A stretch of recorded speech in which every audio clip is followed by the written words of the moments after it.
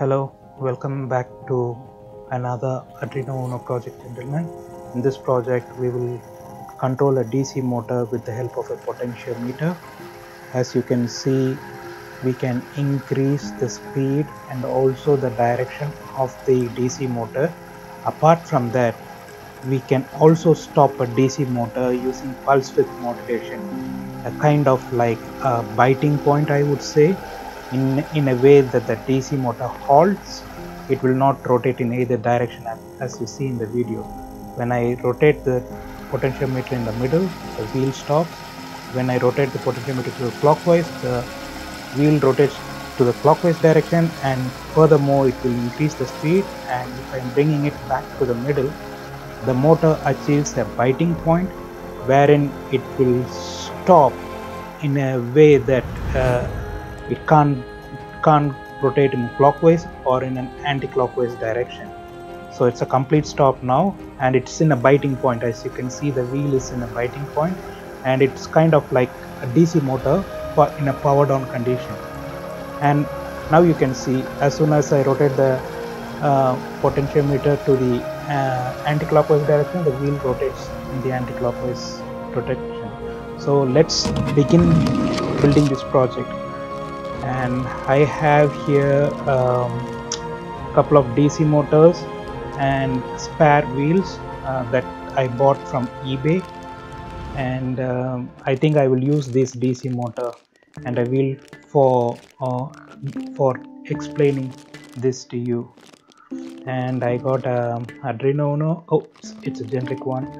I have a genuine one.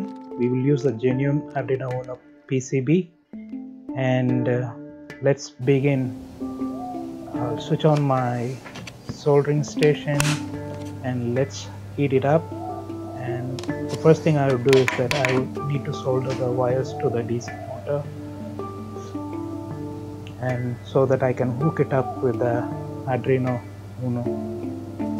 As usual I have given the code to the project in the description below the video.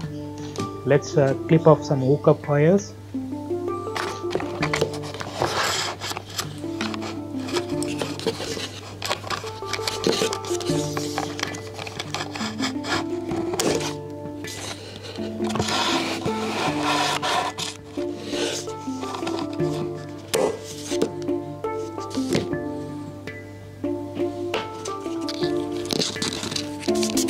It is always better to scrub off the wires wire terminals uh, for a better uh, soldering addition. I always scrub off the uh, parts that I wanted to solder. It gives me a clean solder and apart from that the solder lasts longer. And this is the DC motor that we are going to use and I will scrub these terminals off as well so that the soldering will uh, catch onto the terminals nicely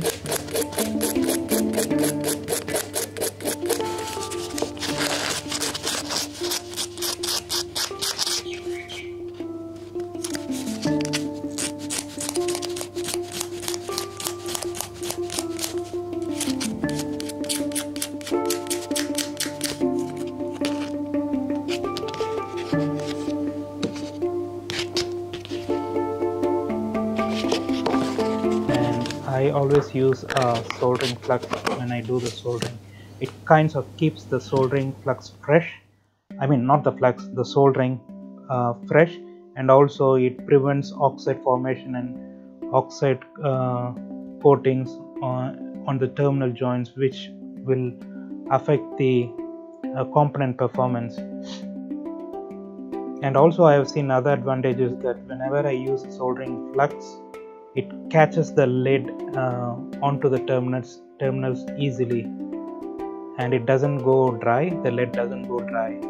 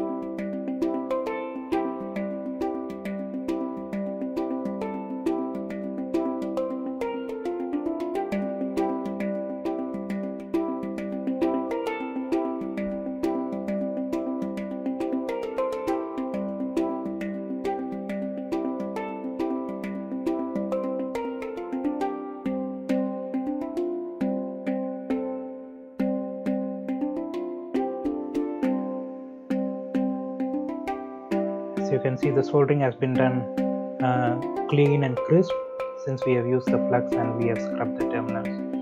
And for this project we will use L293D uh, IC it is a motor driver IC and it is a 16 pin IC and it's like a H bridge configuration IC you can control two motors and it is widely used to reverse and uh, forward the DC motors and for this project we will use not 100k in the video I have shown 100k but we use 10k potentiometer and a genuine Arduino Uno board as I showed you before. And uh, let's wire this up and maybe I think we can uh, uh, go in time wrap. I think we the best is to go by time wrap so that I won't waste your time. As usual we go by time wrap. And the circuit is given in the uh, link description below as well so you can always follow. And if you have any doubts with the codes or with the circuit diagram you can always leave your comments and I'll be happy to assist you with. Let's go time wrap gentlemen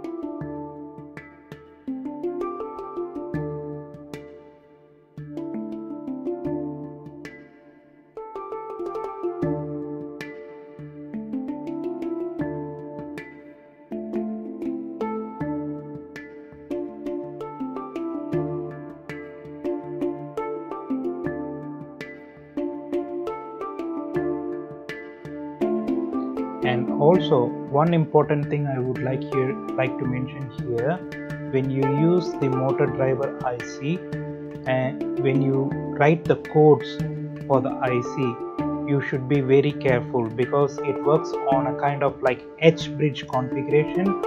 And if you write the codes a little wrong you might end up shorting positive and negative voltage. So if you guys want uh, more information on how this how to use this LD293 I can provide I can post another video on the same because it's a whole new whole lot of stuff related to the IC. It works on H bridge, con H bridge configuration wherein you can um, you can reverse the polarity to the DC motor through this high driver IC and if you if you write the code in such a way if the terminal from positive to negative can also be short circuited so please follow the data sheet and make sure or under, try to understand how it works in the first place before you try writing the codes on. Because in my experience when i started i have burned a couple of ICs. I don't want to want you guys to i mean i don't want it to happen to you guys so you just try to understand how it works. If you want to know again if you want to know more information on this motor driver IC or if you want to know how it operates I can post another video. And if you want you can ask in the comment section and I'll be happy happy to post you that video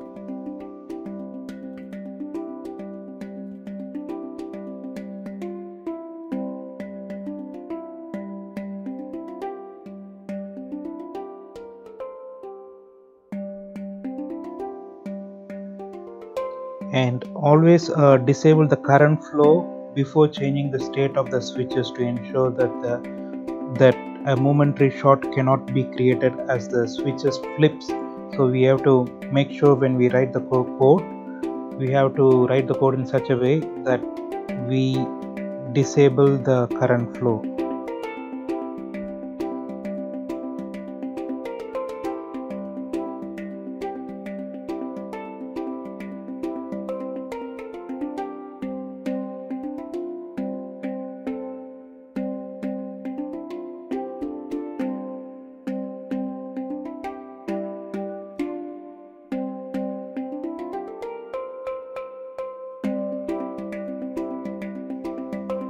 and the speed of the uh, motor is controlled using pulse width modulation pin.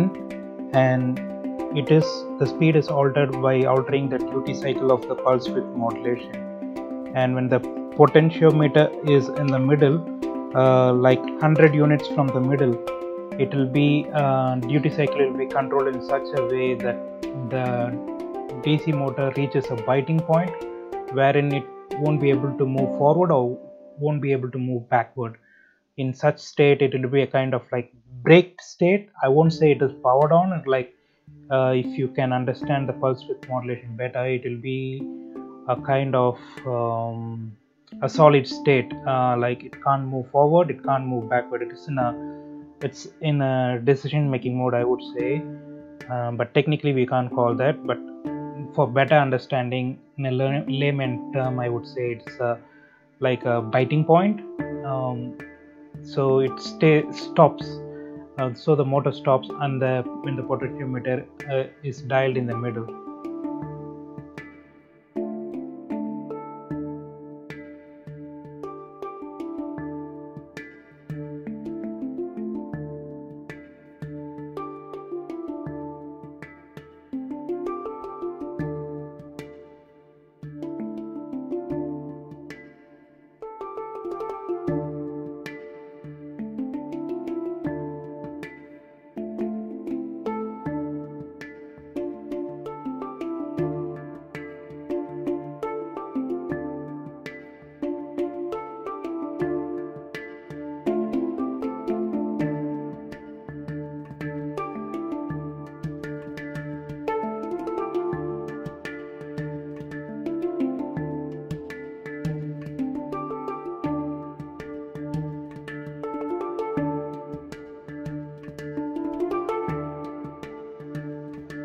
getting a couple of errors and found what the error was.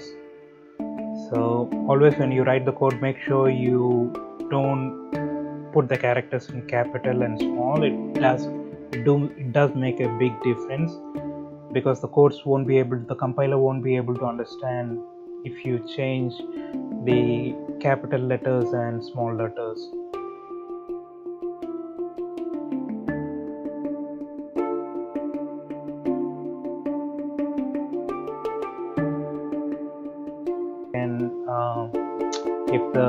program works.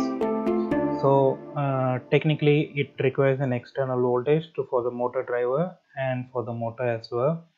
So I have pointed it to 9 volts but technically in 9 volts it was the functions were very less and it was like less powered. So I peaked the voltage to 14 volt as you can see in the background.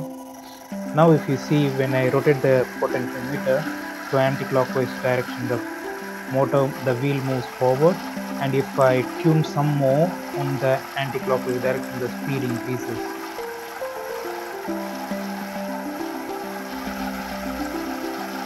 Vice versa when I rotate the potentiometer in anti-clockwise direction when I reach the middle it attains a braking point and then when I rotate it to the clockwise direction the wheel turns uh, backwards so since it's rotating fast you can't see it which direction but when you slow down you are you'll be able to see on which direction moving.